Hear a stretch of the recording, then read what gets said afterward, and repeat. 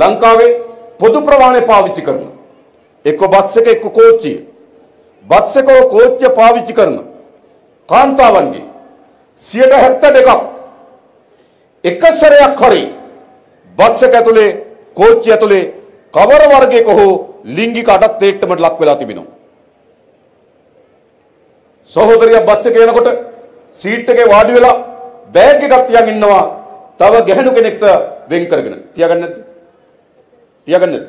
ඇයි? Tamanට නිදහසේ ගමන යන්න බෑ. එතන වාඩි වුණොත් නොසන්ඩාලෙක් වෙලා නැද්ද? මේකට තියෙන මේකට තියෙන අත්දැකීම. බස් එකේ යන්න බැරි නම් කාන්තාවට. කෝච්චිය යන්න බැරි නම් කාන්තාවට. දුම්රිය කෝච්චිය පාවිච්චි කරන කාන්තාවන්ගේ 72කට වඩා වැඩි ප්‍රමාණයක් කවර වර්ගයක ඔබ ලිංගික අඩක්තයටමකට එක සැරයක් හරි පත් වෙලා තිබෙනවා. හොඳද මේ රට? රැකවරණයක් නැති රටක්. ආරක්ෂාවක් නැති රටක්. ඒ විතරද? කාර්යාලය ඇතුලේ මොනතරම් පීඩාවට පත් වෙනවද? උසස් වීම පිළිබඳව, වැඩ කිරීම පිළිබඳව නේද? අනසකට යටත් වෙලා තිබින්නේ. රජෙත් එහෙමයි පෞද්ගලිකංශෙත් එහෙමයි. නේද විශාල පීඩාවකට පත් වෙලා තිබෙනවා. ඉතින් මෙහෙම ගැහණියක් අවශ්‍යද රටකට?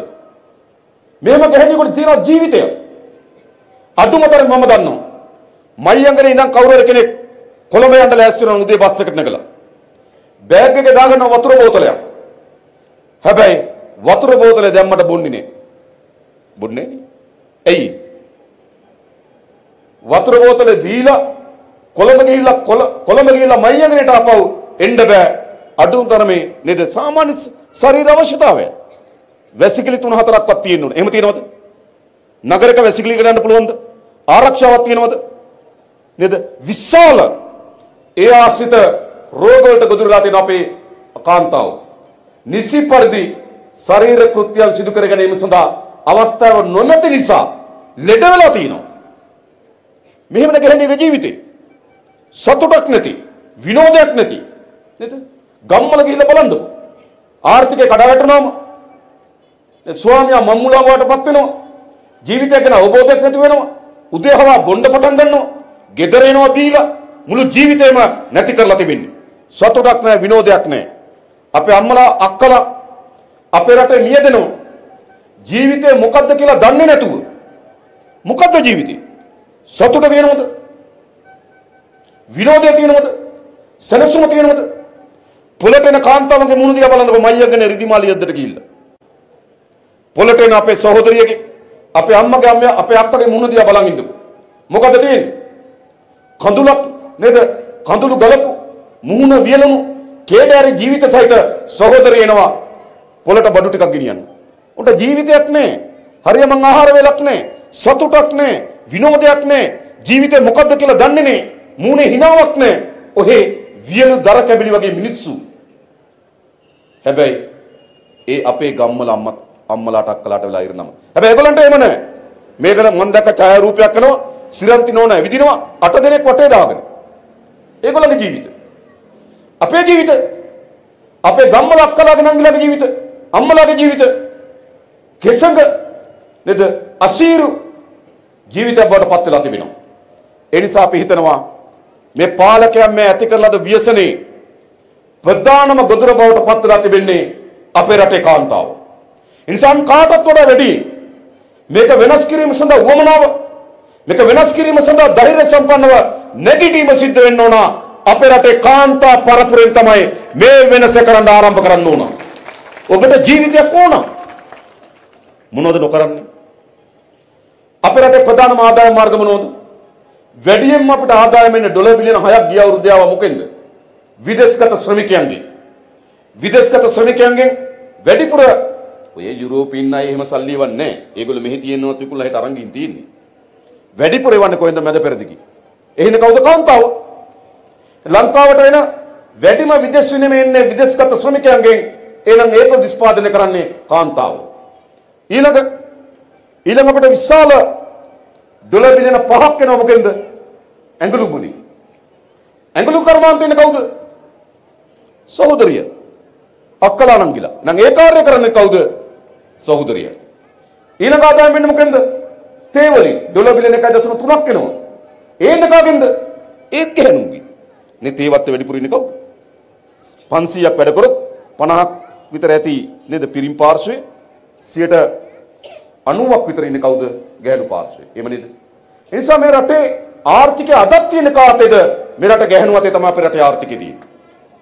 ඇඟලුම් වලින් 100ට ඇඟලුම් වලින් ඩොලර් බිලියන 5ක් ශ්‍රමිකයන් විදේශගත ශ්‍රමිකයන්ගෙන් ඩොලර් බිලියන 6ක් තේ වලින් ඩොලර් බිලියන 1.3ක් ගෙන 1 2 3 ප්‍රධානම ආදායම් මාර්ග උපයලා දීලා තියෙන මේ රටට ගැහැණු. ඒ විතරක් ඉස්කෝලේකට ගියොත් වැඩිපුරම ඉන්නේ ගුරුවරිය. දරුවන්ගේ බර අතට අරගෙන ඉන්න වැඩියෙන් කවුද? ගුරුවරිය. කාර්යාලයකට ගියොත් ගෝජන සේවයකට ප්‍රාදේශීය ලේකම් කාර්යයට වැඩියෙන් ඉන්නේ කවුද? ගැහැණු. විශ්වවිද්‍යාලවල වැඩියෙන් ඉන්න ගැහැණු. හැබැයි අපේ රටේ වැඩියම දුක් විඳින්නේ කවුද? ගැහැණු. වැඩිම කාර්ය ඊට ප්‍රතිලෝමව වැඩිම දුක. එහෙනම් දැන් මේක වෙනස් කිරීම සඳහා මේ වෙනස් කිරීමේ බැටන් එක කාන්තාවන් අතට මාරු කර යුතුයි. කාන්තාවන් මේ බැටන් එක අතට ගත යුතුයි. ඒ සඳහා අපේ සමනමලි සහෝදරිය, අපේ පෝල් රාජ් සහෝදරිය, අපේ හපුතලි අපේ සහෝදරිය නේද? සහෝදරියන් විශාල ප්‍රමාණයක් ඉන්නවා. මේ හැමදෙනාම මෙතන එක් රැස් වෙලා ඉන්න ඔබ හැමදෙනාම මේක වෙනස් කිරීම සඳහා ඔබට ජීවිතයක් වෙනුවෙන් ඔබේ දරුවන්ට ජීවිතයක් වෙනුවෙන් ඔබගේ සතුට වෙනුවෙන් ඔබගේ සැනසුම වෙනුවෙන් මේ වෙනස් කිරීම සඳහා අන් කවරදාටත් වඩා වැඩියෙන් වේගයෙන් ඉදිරියට එන්න කියලා අපි ආරාධනා කරනවා. මේක වෙනස් කරමු අපි. නේද? එතකොට අපි ගන්නවා සෝදරයා වෙනස් කරන්න නම් හොඳයි. මොකක්ද එන ඡන්දි? අනුනේ මොකක් එයිද?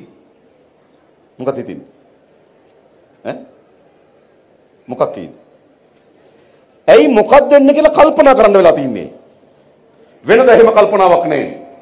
විවස්ථාව අනුව ජනාධිපති ඡන්දෙ ඉන්න තියෙනවා. ජනාධිපති ඡන්දෙ තියෙනවා. දැන් ජනතාවට සිද්ධ වෙලා තියෙන මොකද්ද?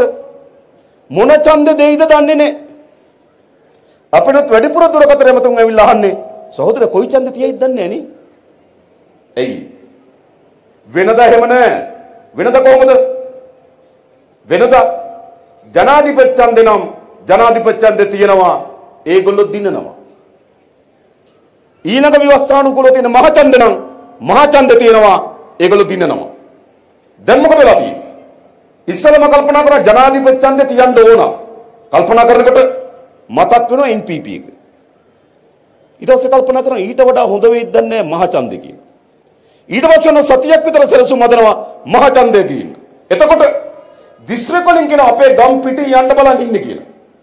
එතකොට ආයතනාධිපති ඡන්දෙට මාරු වෙනවා. මේ පාලකයන් කොච්චර අසරණද වෙලා කියනවනම් කොයි ඡන්දෙද තියන්නේ කියලා හිතා ගන්න බැරි තරමටම නේද දෙලොවක් අතර අතරමං වෙලා. ඒ කියන්නේ මොකද්ද? වැඩේ කරන්න සුදුසුම කාලේ. වෙනදා එහෙම නෑ හොඳේ. වෙනදා ඒගොල්ලෝ නේද? ඡන්ද දැන් මහින්ද මහත්තයා ඉන්න කාලේ මතකද? දිනවලට නෙවෙයි දිනවලට කලින් ඡන්ද තිබ්බා. අවුරුදු පතා ඡන්ද. උතුරු මැද විසුරුවරලා ඡන්ද තියෙනවා. අය මාස දෙකකින් වයඹ විසුරුවරනවා. අය මාස දෙකකින් උව විසුරුවරනවා. අවුරුදු පතා ඡන්ද. එයි වැල්ල නේද? බඹරා වැල්ල කරගෙන කාලේ. අද මොකද වෙලා තියෙන්නේ? බඹරට වැල්ලට බහින්නත් බැරුව ඉන්නේ. දැක්කනේ? නැවක නැගලා වෙච්චිදී. හරිද? මොකද සිද්ධ වෙලා තියෙන්නේ නේද? අද ඒගොල්ලෝ දේශපාලනේ නේද? අවසන් අධීරයට අවිලා තියෙනවා. එනිසා අපිට මේක වෙනස් කිරීම සඳහා හොඳම අවස්ථාව ලැබිලා තියෙනවා. අවස්ථාව වෙන තියෙන විතරක් නෙමෙයි. වෙනදා මේ කඳවුරු දෙක අපිට දෙකක් වගේ පෙන්නුවා. අද දෙකක් නෙවෙයිනේ මතකද?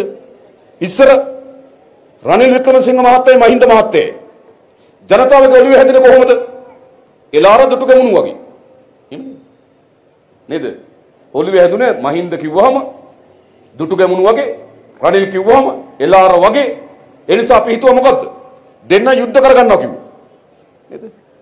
ගනු කඩුව එනු සටනට කියලා දෙන්න යුද්ධ කරගන්නවා. දෙන්න යුද්ධ කරගෙන ගම්මලය ඒ දෙන්න කඩදාසි කඩුවෙන් යුද්ධ කරගන්නකොට ගමේ පොළු වලින් ඇත්තටම ගහගත්තා. නේද? යුද්ධ කරගත්ත කියලා පෙනුණා. හැබැයි මොකද වුනේ? රාජපක්ෂලා විශාල අසිරතාවයටපත් වුණා.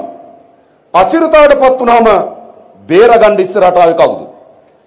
අයියන්ඩියේ බිය නොවන්න මරණ මරණාසටි මම පෙන්නන්නම් කියලා කවුද ඉස්සරහට ආවේ? රනිල් අතිජාත මිත්‍රයෝ. මේ ළඟදී රනිල් වික්‍රමසිංහ මහත්තයා ගියා මාලදිවයිලට. මාලදිවයිල මොකද දන්නවද? ඒ ජනාධිපතිවරයා දිවුරුම් දෙන උත්සවෙට. උත්සව පේන්න බෑ. ගම්මලත් ඉන්නව නේද ඔහොම කට්ටිය. සුදු කොඩියක් පේන්න බෑ. දවස් 7 මෙතන. නේද? මගුල් ගයක් ගේන්න පේන්න බෑ. වියන් බඳින තැන ඉඳන් එතන. නැත්නම් ඔහොම කට්ටිය. අන්න ඒ වගේ ආදී. මන්ද රජ්ජුරුවට ඔටුනු පලන්දනු කරනවා. ජපානයේ අගමැතිතුමාගේ ආදාහණයට යනවා.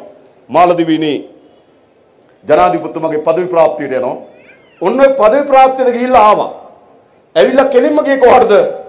මහින්ද රාජපක්ෂගේ උපන්දිනේට ආණ්ඩුවෙන් දීලා තියෙන නාමල්ගේ ගෙදර. නාමල්ගේ ගෙදර කියලා කේක් කැපුවා.